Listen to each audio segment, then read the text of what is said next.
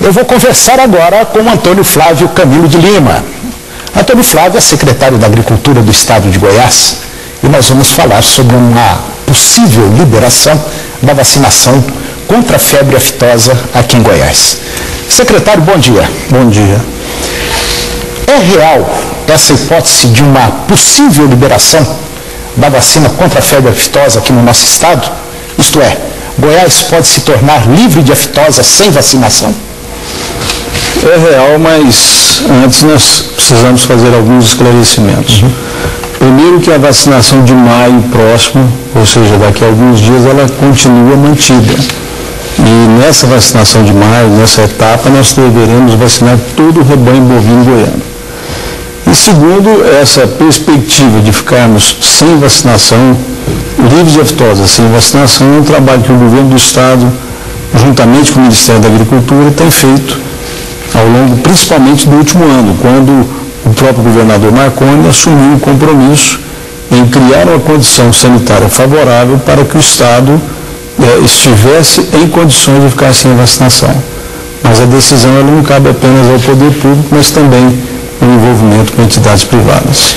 Na visão do governo estadual, do Ministério da Agricultura, Goiás está em condições de parar com a vacinação? Tem condições? Nós, nós temos 19 anos uhum. sem aftosa, já temos muito, muitos anos com certificado de zona livre sem vacinação, o que proporciona condições de exportação da carne. Temos um serviço de defesa animal, também vegetal, no caso aqui aftosa é animal, muito bem estruturado, reconhecido inclusive em audiência pública que eu estive no Senado no ano passado como um serviço a ser seguido como um bom exemplo aos demais estados brasileiros. E eu não tenho dúvida que muito em breve o Ministério da Agricultura vai conceder ao Estado de Goiás essa situação de livre de aftosa sem necessidade de vacinação. Bom, isso ainda vai depender de reuniões e reuniões e mais reuniões. O governo do Estado vai ouvir ah, os empresários, produtores rurais, e é eles que vão decidir se para a vacinação ou se continua a vacinação. Quando recebemos essa uhum. autorização por parte do Ministério, caberá o status, né, de, de o livre. status de livre sem vacinação. Uhum. É, caberá às entidades que representam os produtores, os pecuaristas goianos tomarem a decisão.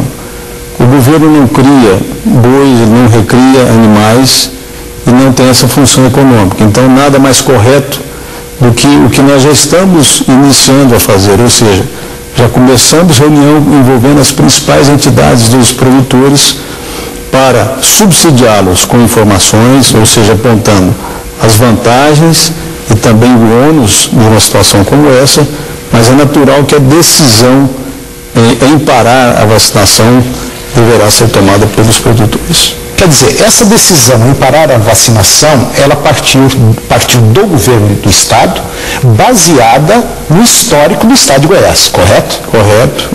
Foi comunicado ao Ministério da Agricultura e agora depende, vamos dizer, dessa liberação do Ministério e também da OIE. É, essa a liberação do Ministério ela vem naturalmente acompanhada de uma, vamos chamar, chamar assim, de uma autorização Sim. da OIE, que é o Organismo Internacional de Sanidade Animal, de Saúde Animal. Agora, por, é, por parte dos produtores, dos pecuaristas, será importante um debate muito intenso, muito aprofundado, porque nós teremos vantagens e teremos também algumas providências a serem adotadas. E isso vai implicar em, em, uma tomada de decisão muito séria por parte dos produtores. Doutor Flávio, vamos supor que Goiás passe a ser livre de aftosa sem a vacinação. Aí eu vou ali no Tocantins e compro uma carreta de boi e quero levar para Minas Gerais e tem que passar dentro de Goiás. Eu vou passar ou não?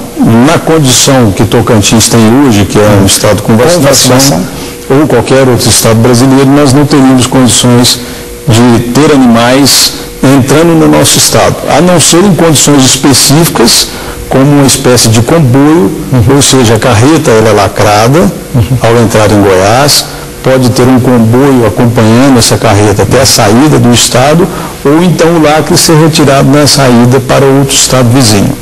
Mas, por exemplo, animais que vão, é, são destinados a uma exposição fora de Goiás, Minas Gerais, por exemplo, animais de elite, de genética, eles não poderiam, ao sair de Goiás, retornar porque eles entraram numa zona é, em que existe a vacinação e estariam retornando a uma zona onde não tem mais a vacinação.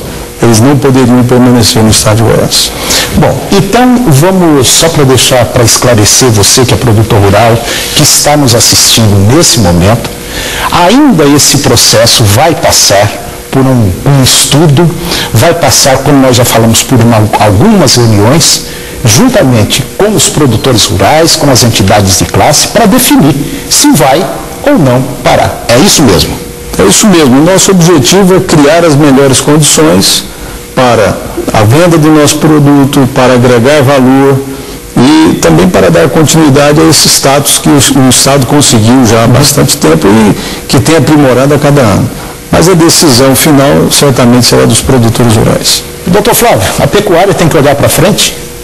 Tem que olhar longe, né? Nós temos que olhar para 2050, já começando a trabalhar nesse momento, uma vez que a agricultura avançou, que outros países estão também se inserindo no, se inserindo no mercado global e que a própria pecuária de corte bovino ela sofre também concorrência de outros setores de produção de proteína animal muito competitivos. Vocês vão fazer alguma nova reunião em relação a esse assunto? Em cerca de 20 dias, as principais entidades estarão na Secretaria de Agricultura discutindo novamente esse assunto e, quem sabe, até tomando uma decisão prévia. Tá ok. Doutor Antônio Flávio Camilo de Lima, muito obrigado pela sua participação mais uma vez no agronegócio. Muito obrigado. E nós colocamos o nosso programa à sua disposição. Obrigado. Qualquer hora.